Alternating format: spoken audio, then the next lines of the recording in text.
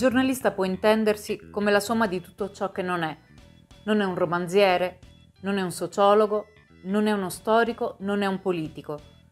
La somma di tutte queste impossibilità o insufficienze costituisce in modo appropriato, anche se particolarmente enigmatico, quello che è.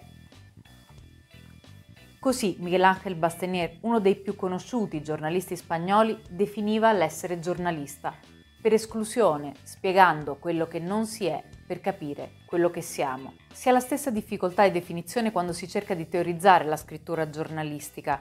Come si insegna questo mestiere?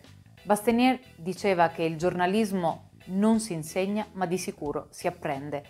Ed è quello che cercheremo di fare in questo corso. Come? Con la pratica. Impareremo scrivendo, in un viaggio che ci farà attraversare cerchi concentrici in cui passeremo dalla breve, l'unità minima ma essenziale di una notizia, al reportage, imparando a osservare, a vedere le storie anche laddove apparentemente non ci sono e a raccontarne i luoghi e i protagonisti.